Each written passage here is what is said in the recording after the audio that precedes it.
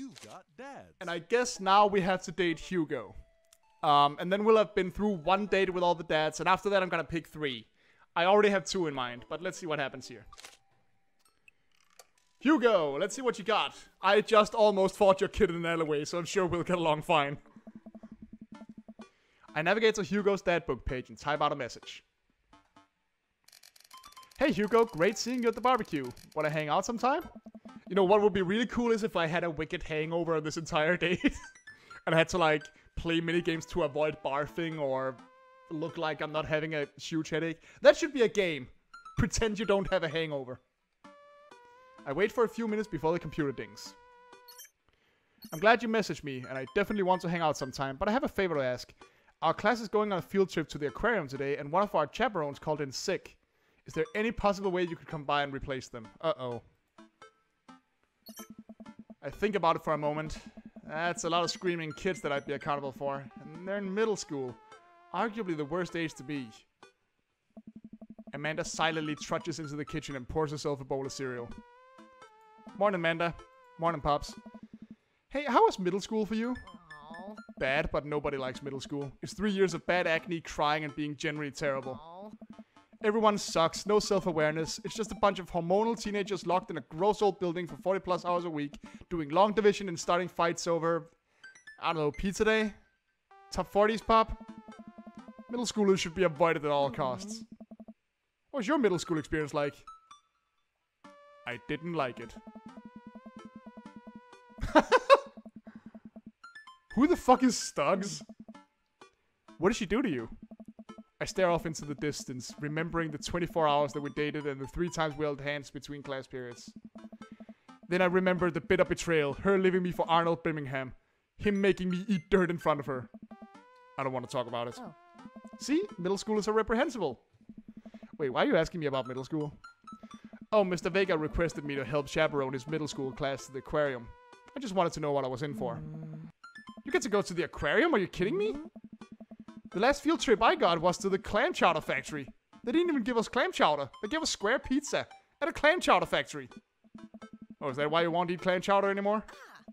No, it's because Bobby Willingham threw up into one of the vats of clam chowder, and I'm the only one who saw it happen. It haunts me. Right, let's leave that story firmly in the past.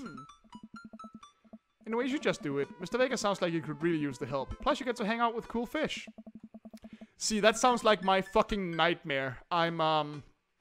I think I've mentioned this, this in other streams, but I'm actually terrified of a lot of ocean creatures. I can handle them as a cartoon in this game, but a lot of them really freak me out, so let's see how this goes. I get, I get kind of weird about aquariums. The ocean makes me nervous.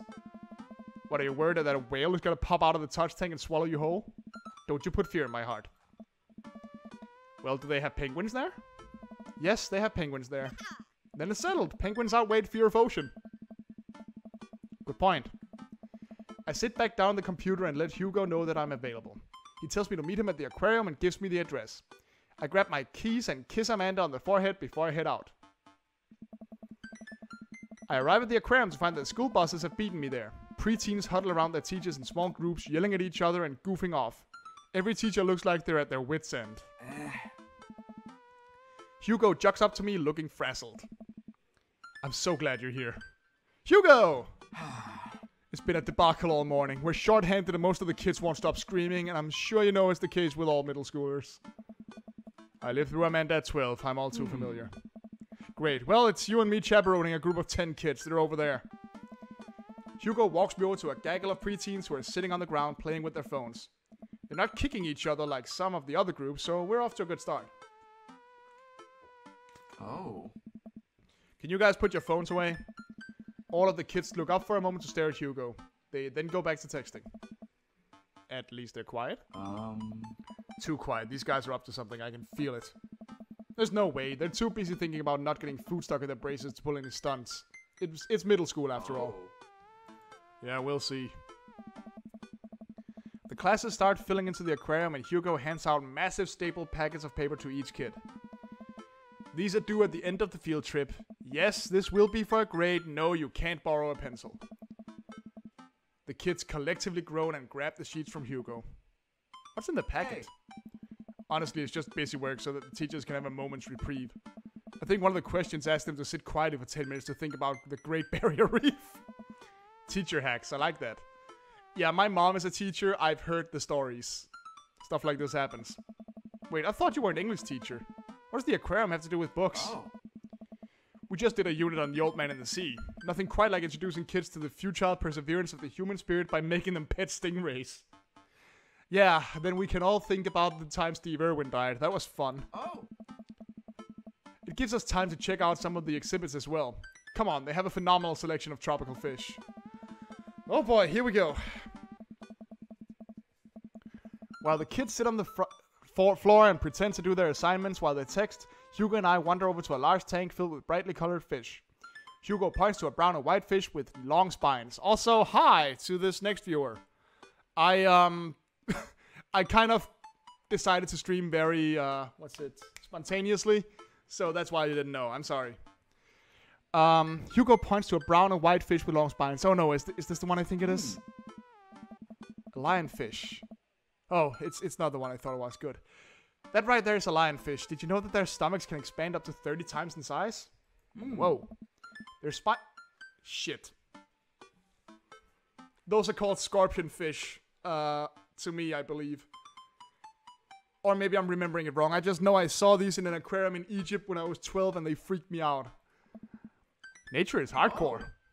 You think that's bad? Take fucking hell, Hugo! Stop!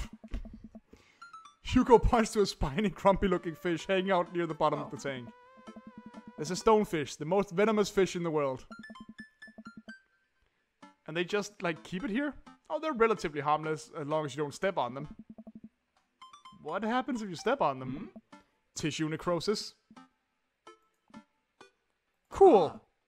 Nature is wild. Hugo seems to know a lot about fish. I feel the overwhelming need to impress him. Hey, see that fish over there? Um. That one? Yeah, that's the.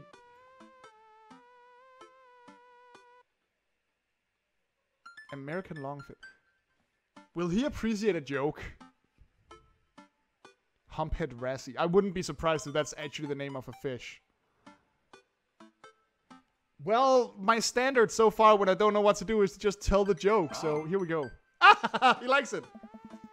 Did you know that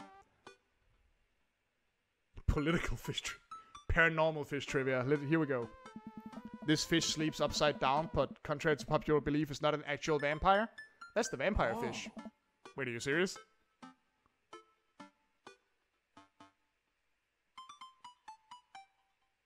Shit, am I serious? uh, I'm gonna keep the joke going. We're talking fish here. There's no time for jokes. Ah, crap. I thought he would appreciate the joke. Ah, that's a clownfish. Right. We lead the kids to another room. Sharks, sea turtles, eels, and other marine life swim around in a massive floor-to-ceiling aquarium. Well, that I could handle. The kids begin trying to take selfies with the sharks. Hugo leaves my side to separate two kids who started fighting over a, cap- a Capri Sun. really? I walk around the room reading the tiny little blurbs about different fish swimming inside the enclosure. After a while, I look around and see Hugo again. He's gazing up the aquarium in childlike wonder. The ripples in the water cast blue, moving shadows across his face. For someone surrounded by angry hormonal preteens, he looks completely peaceful. He looks really cute in this light. I hope he doesn't notice me staring. Wow. Hey. I walk over to join him. Beautiful, isn't it? Yes, and terrifying and gross and weird and full of fish that I don't like and ah, jeez. We can. Are those two sharks kissing? That's a good question. Fuck it, we're trying this. No, Barry. The one's eating the other. Well. I, again, I'm trying to like joke a little or maybe appeal to his knowledge, and I'm fucking up. This date is going horribly. We stand together for a moment, admiring the wonders of marine life. We eventually make our way to the touch tank room, which seems to be the only thing the kids are actually interested in. The tank is filled with a variety of horseshoe crabs, sea urchins, stingrays, and small fish. I stand around the edges of the tank and keep a wary distance from the sea life. Who knows what kind of nefarious plans those horseshoe crabs have for my well moisturized hands. Hugo rolls up his sleeve and sticks his hand in the water. Do you want to pet some raspberry? Oh, I, I think I'm good. I don't really... I think you should just stay over here and admire them from a respectable distance. Come on, it'll be fun. And informative. Don't make fun of me, but I'm scared to touch them. I get weird when there's no glass separating us. I don't know what any of those things are, but I get the feeling they will probably bite me and my delicious hands if given the chance. Nothing in this tank can hurt you. The stingrays have had their barbs removed, the horseshoes crabs only eat little clams, and the anemones are perfectly safe to touch. Oh my god. Against my better judgment, I approach the tank, slowly dipping my hand into the cold water. I touch a stingray as it glides past me. I did, um, when I went to San Francisco a couple years ago, I did visit the aquarium there because for all my bitching about fish that freak me out, I actually do kind of like certain parts of aquariums. And they did have like one of those uh, shake hands with the otters cages, and that was really fun. I like that. See? Not so bad. It feels like fun, slimy leather. Things get a lot less scary when you learn more about them, right? Yeah, no, no, most fish still freak me the fuck out. I dive my hand back into the touch tank with renewed vigor for ocean life. I poke at some urchins and feel the hard carapace of a horseshoe crab. My hand brushes against Hugo's as we reach for the same anemone. I pull away blushing. Oh, we're doing Lady and the Tramp now. Hugo smiles at me. Hey, you're supposed to be touching the fish. Sorry, I just get a little carried away some... Wait. That girl over there looks suspicious. Where's that? Oh. Are backpacks usually that wet? Hold on. Susan! Susan, get back here! Hugo runs after middle school and catches her before she can make it to the exit. Wanna tell me what's in the bag? Textbooks? Wanna tell me what's really in the bag? Susan won't budge. I walk over to Hugo and the girl. I think he might need a bad cup. Look, kid. That's an easy 5 to 10 in the clink. Let's keep it cool. Whatever it is, it goes back into the touch tank. Now. You're not a teacher. You can't tell me what to do. Yes, well, I am. Can you please put the bag down? Next time we won't say please. Susan glares at Hugo for a moment before dropping her book bag on the floor. It lands with a wet slap. We stare at it for a moment before it starts to move. Hugo leans down and unzips the backpack. A horseshoe crab frantically scuffle, scuttles out across the floor. An employee swoops in, scoops it up, and places it back in the tank. She gives us a disapproving look. Jesus, Susan, what was your plan? I was trying to free him. To where? Outside where he was gonna die? Susan, go back in your group. We'll discuss this later. Yeah, and hands where we can see him. Susan sulks off, leaving me alone with Hugo.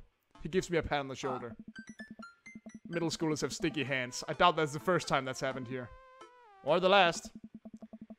In the next room, we see a variety of smaller tanks, sea urchins, tiny fish, and a rainbow of beautiful underwater plant life surroundings. Ah. Look over here. Hugo points to some seahorses gathered at the bottom of a tank. One of them is in the middle of giving birth. Do I have to watch that? I don't wanna. Oh. That's actually the male seahorse. Sort of takes fatherhood to a new level, doesn't it? Hey kids, come check this out. There's a male seahorse giving birth. A low murmur from the students. They just jump back to their oh. phones. Fun fact, male seahorses can even give birth and then get pregnant in the same day. Man, we thought we had it hard. Wonder if they have to deal with their kids' awkward teenage years too. All however many thousand of them. You seem to know a lot about marine life, Hugo. Oh. It's not really my specialty, but I do make a point to learn as much as possible whenever I can. I think that learning shouldn't end when you leave school. We should challenge ourselves to find out more about the things we don't understand every day of our lives. Because if you stop learning, I don't think you'll ever be able to grow or change as a person. Good point. But I still don't trust the ocean. We'll get there. We finally make our way over to my favorite part of the tour, the Arctic exhibit. Yay! This is cool! Do we get to see the penguins? Hmm. Yes, we get to see the penguins. Hell yes. Penguins and polar bears. Polar bears are cool. Our group of kids run around the exhibits. They won't stop tapping on the glass of the puffin enclosure trying to get their attention. For at least a few moments, teachers, chaperones, and students alike seem to be having a great time.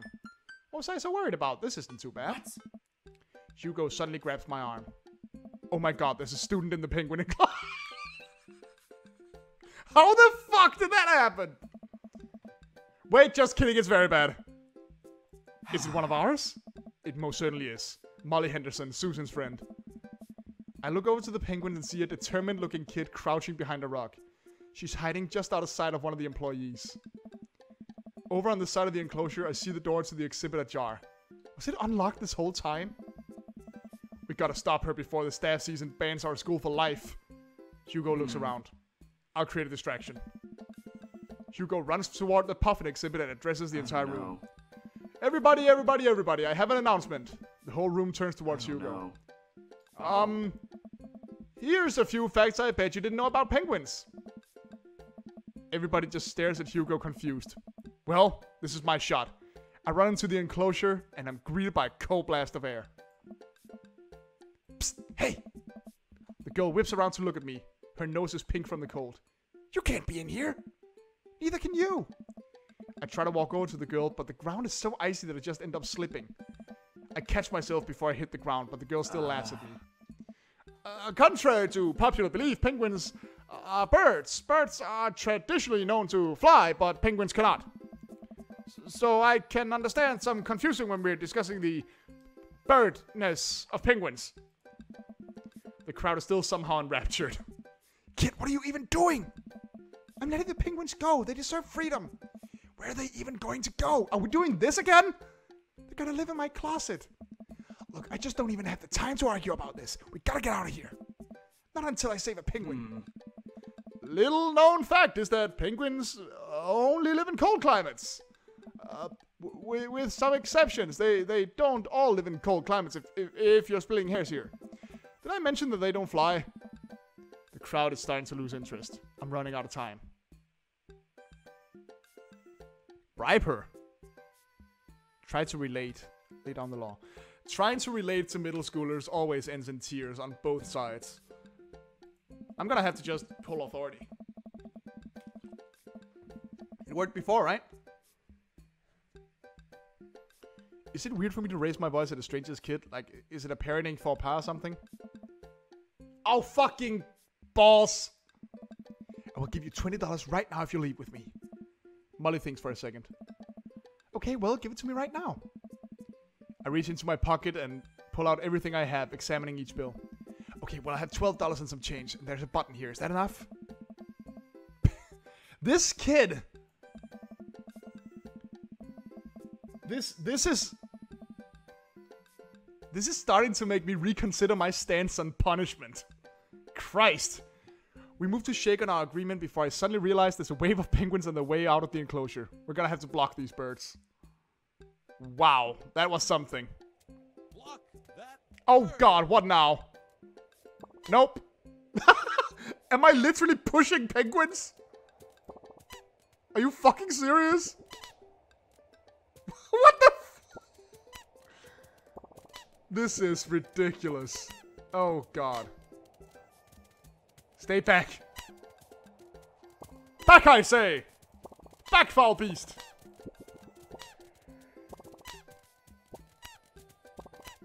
No, no, no, no, no! No, you don't! No, you don't! No, no! No! Bad penguins! Bad penguins! I'm just gonna spam them with fucking hands.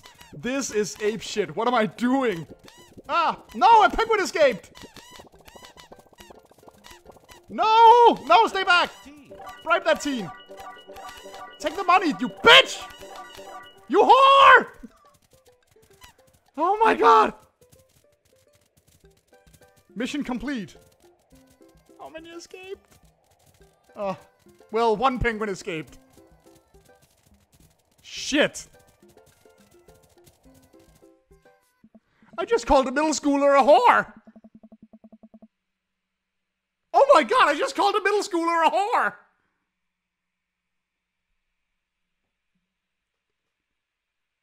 I was young and desperate that I needed the. Fuck.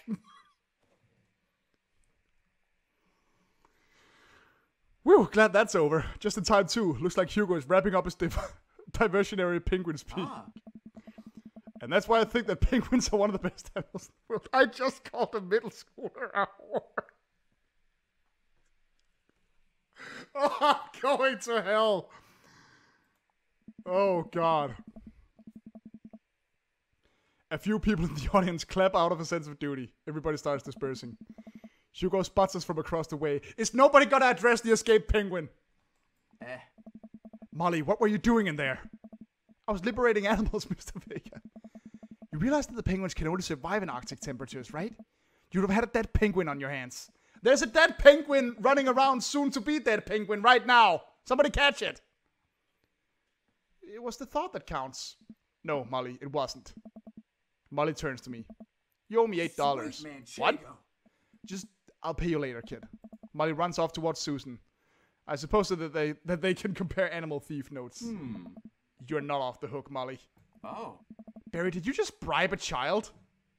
I bribed a child. I'm just gonna have to admit it. It was the only way to get her out of the exhibit. I'm not proud of what I've done. I'm not proud of it either. Or of my penguin facts lecture. Oh, my penguin facts lecture.